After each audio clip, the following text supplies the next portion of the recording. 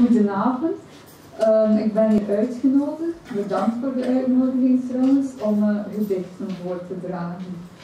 Um, het is een speciale locatie, want uh, ik heb hier als achtjarige leren zwemmen. Iedere donderdag met het François Laurent Instituut um, kwamen we hier zwemlessen volgen. Nooit een goede zwemmer geweest. En deze korte inleiding brengt mij naadloos bij mijn eerste gedicht uit mijn tweede bundel Verzonnen Plooi, een folkloristische verdrinkingsdood. Na het vruchteloze kaartspel eet ik met gematigde bedachtzaamheid een gedroogde abrikoos. Een okerachtig dragonder staart mij aan. Ze draagt ze draagt een emmer gevuld met goudvisvoer. Het is het voer dat haar de okerglans geeft. Het is nacht en René brood om de bedpan. Ik was nooit in Wales. Toch denk ik dat de runderen daar op een gelijkaardige wijze brunnen. Niet om een bedpan natuurlijk. Om stroomstoten misschien of om vogels die hun vachten ontrafelen. Het is een wonder dat ze nog niet schor is. Ik was ooit in de pannen om de reuzen te bezichtigen. Mijn moeder stond naast mij met een puntzak. Ze dacht niet aan segregatie. Ze trapte op mijn tenen en zei: Daar, die reus, daarin zit hij. Haar nieuwe vriend de hypochondrische proestgeleerde. Speciaal voor haar, speciaal voor haar wilde hij zich al dus vernederen, dacht ze. Maar hij had zijn plaats aan een goede slagerszoon afgestaan. Later heeft ze mij uit het oog verloren en ben ik met de puntzak op mijn hoofd geld gaan aftroggelen van toeristen die dachten dat ik folklore was. Ik kwam mijn stiefvader tegen. Zonder de rok van reus was hij verlegen. Het is nacht en René brult. Ze kan brullen tot de herders thuiskomen, tot de pamfletten in de bussen zijn geperst, tot de goudvissen hun glans verliezen. Tot de draak verdrinkt in het vijvertje gebeurt er bitter weinig. En dan uit mijn eerste bundel, De dieren in mij. Een, um, een vrolijk, venijnig gedicht. Um, ik had mij voorgenomen het van buiten te leren. Ik ben daar niet in geslaagd. Um, dus lees ik het voor op deze manier. daar gaat mijn vriend. Daar gaat mijn vriend. Hij is weer eens vrolijk. Hij struikelt over de verpakking van een tuinschaar. Hij valt op zijn goede tronie.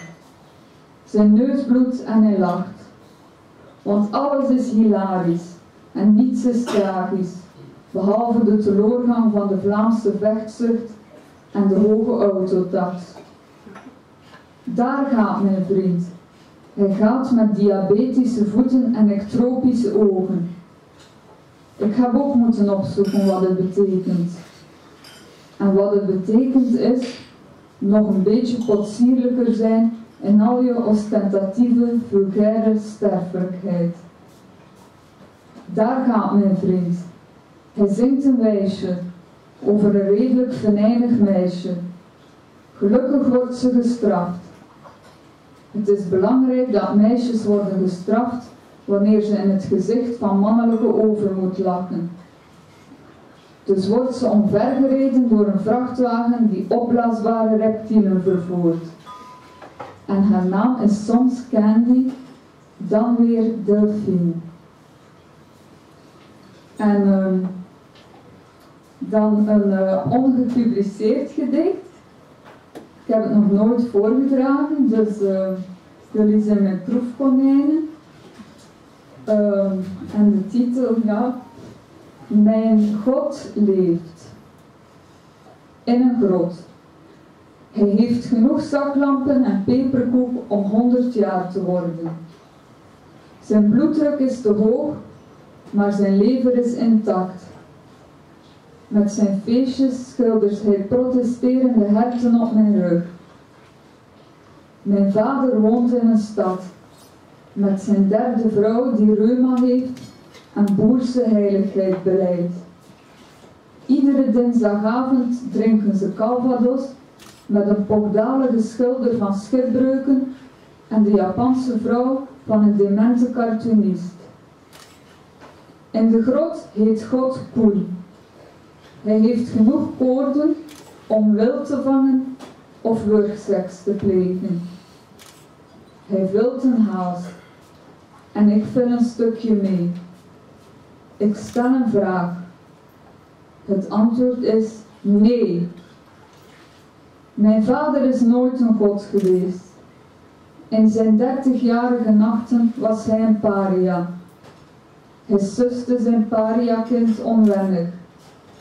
Ze brak zijn snaren, hij knipte haar weerborstel in de lege voorraadkast. En uh, nog een gedicht uit uh, mijn tweede bundel, waar ik zeer trots op ben. En die ik heb opgedragen aan mijn partner Omer Minneboog, die hier ook aanwezig is. Um, en het gedicht dat ik nu ga voordragen heet Het opwindaapje. Ik ben het opwindaapje. Zonder sleutel ben ik een sentimenteel souvenir. Mijn cymbalen zijn roestige platen. Mijn circuspakje is een vlekkerige vod. Een hoofddeksel hebben ze mij nooit aangedaan. Iedereen verdient genade, toch zeker een opwindaapje zonder sleutel. Het is mijn schuld niet dat haar kind de sleutel in zijn neusgat propte en snoof tot de sleutel zijn hersens bereikte. Het is mijn schuld niet dat de afstand tussen mijn cymbalen nauwer wordt met de tijd tot een ondervoede babypink praamt en klem raakt. Een kleuter krijgt tetanus door met mij te spelen. Ze verdient een draai rond haar oren, maar ze krijgt een vaccinatie en een sticker van een eenhoorn. Zonder sleutel ben ik als een haas zonder verhemelte. Ik ben het opwindaapje. Ze laten mij op de commode staan, omdat ik bezeten ben. S'nachts maak ik cirkels zonder sleutel en zing West-Vlaamse blues tot de zon dreigt op te komen. Overdag lik ik de palm van de kuisvrouw die mij opblinkt en fluister groteske verhalen in de richting van de kinderkamer. Moehaha. Dat laatste was uh, improvisatie. Maar uh, tot slot uh, nog een ongepubliceerd gedicht. Een lang gedicht. Het is het laatste, dus ik hoop dat jullie nog even... Uh... Ah nee, sorry, het is het voorlaatste. Hmm. Per ongeluk in een bedevaartsoord. Gelukkig heb ik wonden. Genoeg wonden om niet gewantrouwd te worden. Ik zit op een bankje en probeer te schrijven. Tussen een onaffe brief aan een idool en een mislukte ode aan mijn vader is nog plaats. Neem je tijd, Delphine. Vergeet je angst die honger is, onnozelaar. Zo prevelig. Maar het haalt niets uit. Ik haast me toch. Het is ijdelheid. Niemand wacht op mijn rauwe bekentenissen, vermomd als pretentieloze raaskalgedichten. De oude kruisboogschutter wacht op mij. Op de soep die ik heb beloofd te koken voor hem. Op de dunne mond die ik heb beloofd te stiften voor hem. Hij is niet verrast wanneer ik clownesk en psychotisch zonder kervelsoep binnenval. Hij had dat wel verwacht. Ik was per ongeluk in een genezende stad, vertel ik hem.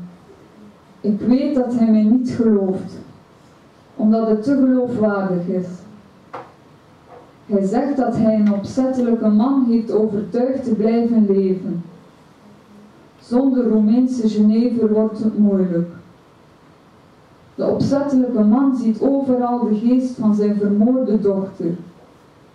Niet overal. Hij ziet haar te weinig. Eigenlijk ziet hij haar alleen in de kraan van de gootsteen. Hij mag die kraan niet vermijden. Zonder kraan dreigt hij te vergeten hoe onbeholpen ze was. En tot slot een uh, ouder gedicht. Ehm, zonder kaarten ben ik ongeslagen. Hij denkt dat ik bluff wanneer ik zeg dat ik pyromanie en veertien kortverhalen in mij draag. Hij rilt ongewild en verandert van onderwerp. Ik hou niet van zijn onderwerpen, overspel en heraldiek, maar ik ben verslaafd aan de luchtigheid die hij ochtends draagt. Smiddags hebben we het enkele uren moeilijk. Twee opgezette hazen spelen een kaartspel. De haas met de beste kaarten kijkt verslagen. Nu ruk je de kaarten uit hun poten en gooit de hazen uit het raam. Die met de slechte kaarten landt op een toerist. Hij vervloekt mijn geliefde in het Schots en niest. Ik zeg, de vloek is ongeldig omdat hij heeft geniest. De haas met de azen wordt opgevangen door een magere vrouw die er achterbaks uitziet. Hij zegt, ze lijkt op jou. Misschien moeten we haar binnenroepen. Maar we kennen haar roepnaam niet. De sterren hebben het vanavond voor het zeggen. Ik verbind ze traag en ze stellen een hond voor die de verf van een tafelpoot afbijt en even later bezwijkt aan een loodvergiftiging. Jij verbindt ze snel en houdt de betekenis voor jezelf. Bedankt.